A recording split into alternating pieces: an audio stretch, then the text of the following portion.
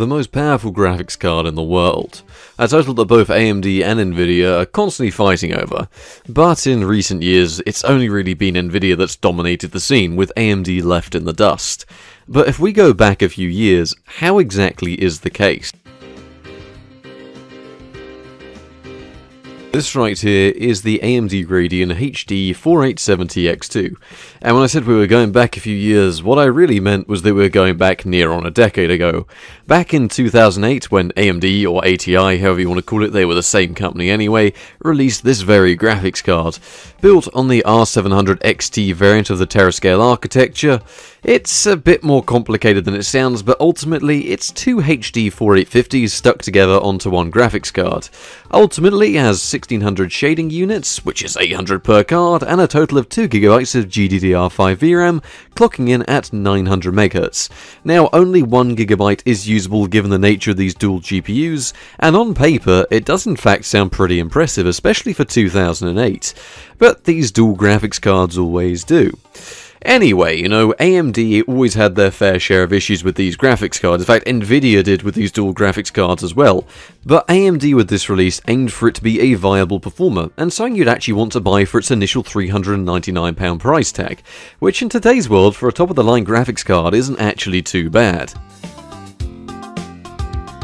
So while I give this card a bit of a clean, as the condition of this card isn't really the best, why don't we discuss a little bit more about what makes this card so special. Well, what can I do other than start off with saying just how praised this card was by reviewers of the era. People were skeptical. I mean, the last time AMD, or Nvidia for that fact, had done something like this, you know, it worked alright, but it had its own major faults, specifically with the scaling in some titles and the fact that it was an expensive card that didn't really feel like a premium product. It felt a bit clunky. And even in my own review, that was a major issue with the card. So people were skeptical as AMD claimed it was the fastest graphics card in the world.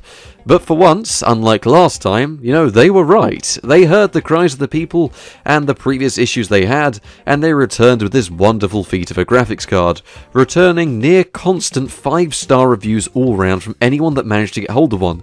It seemed like the card was more than just pretty good. And why wouldn't it be? AMD saw the main issues with the card were driver-side issues as well as the limited bandwidth caused by the PCIe 1 connection.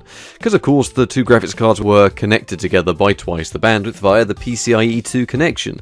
But that's not all they did to future-proof it in a sense, AMD had also cross-connected the graphics cards via their own special bridge, called the side port because it was off the side of the GPU cores, something that wasn't enabled on release because the card already had so much bandwidth at its disposal that in true AMD fashion might as well not have needed to be there because when pushed for a release date by any reviewers, they didn't really have an answer because they never really planned to use it unless it really needed to be used.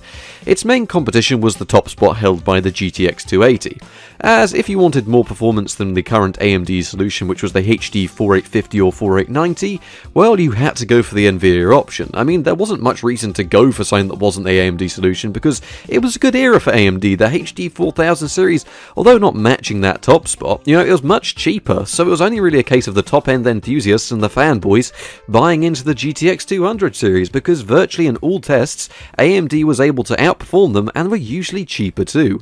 With this card aimed at the top spot, you know, they wanted to change that. They wanted to prove that they could have the top spot, and there was no doubt that AMD had a good card on the market. Although there's one thing to note about this card. Well, it was only ever as good as its drivers, and we all know that Terascale, well, it had some decent drivers in the beginning, but, well, now they're downright terrible. So why don't we take a look at if this graphics card has become 10-year-old treasure, or if it's just become a hot potato ruined by the poor AMD final drivers.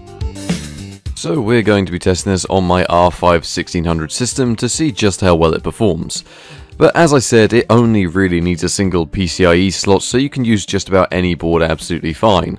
So why don't we get into this and find out just how well this thing is holding up in the benchmarks.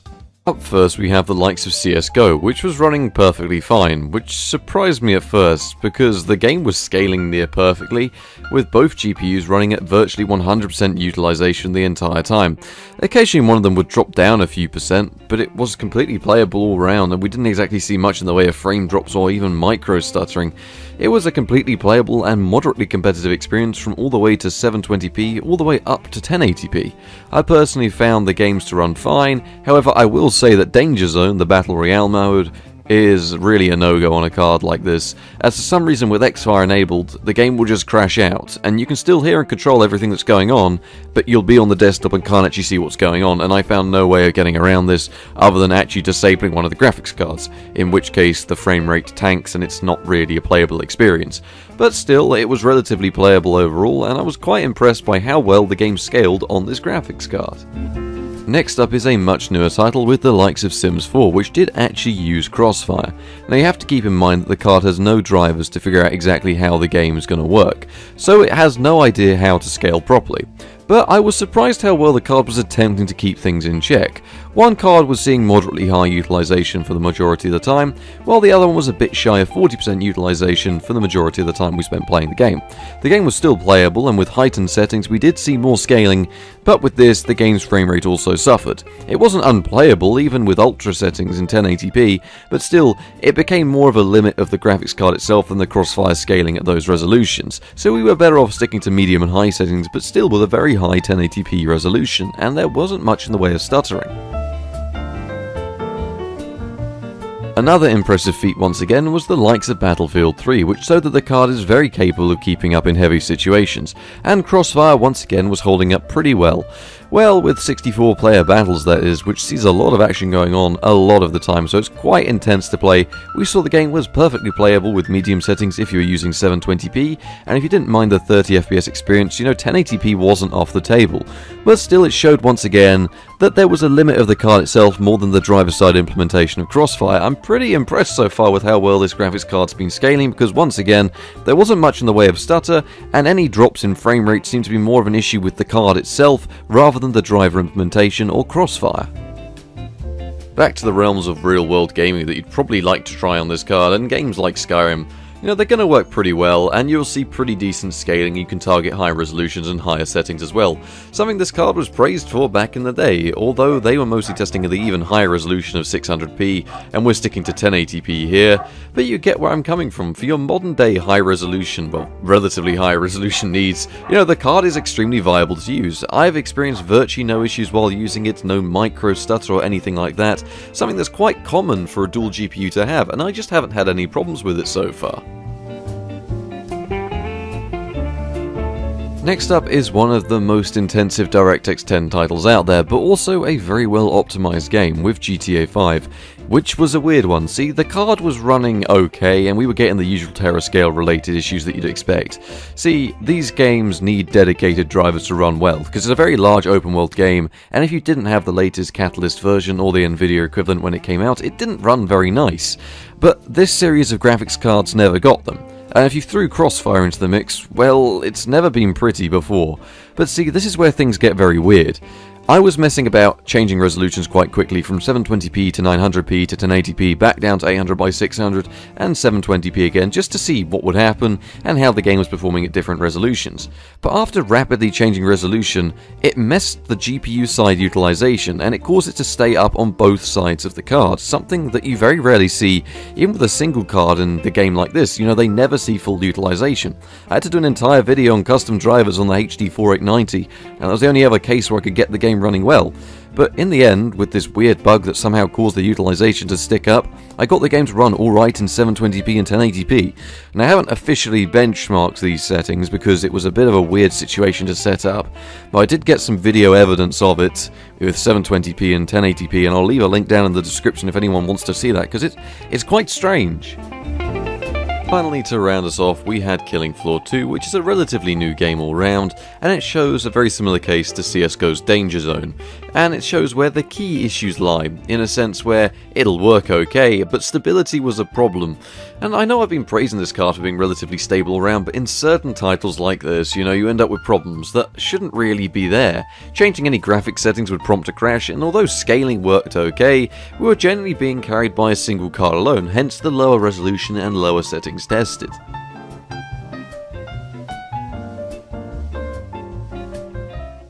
3D Mark was strange in a sense that for once it didn't actually show much in the way of scaling, regardless of the test or scaling slash crossfire method I used.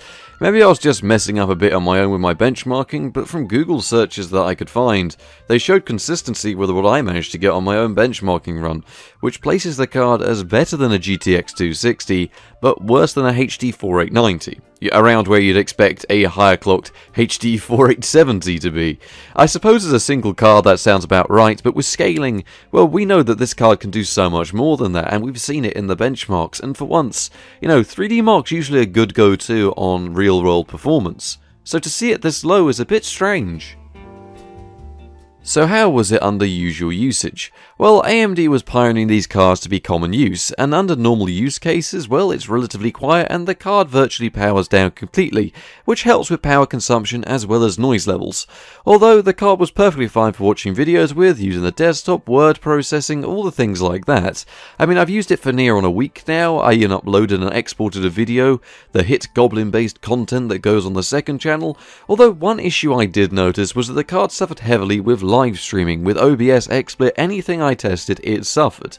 Now, I enabled VSync and tried changing the APIs being used, etc., but it made no difference, and nothing would solve the issue. So on the latest streams, which I'll show on screen now, you can see a slight bit of frame tearing, which wasn't actually from the game, but was caused by the graphics card in post. I tried this on another system, and it still happened, so yep, this seems to be one area where the card does suffer.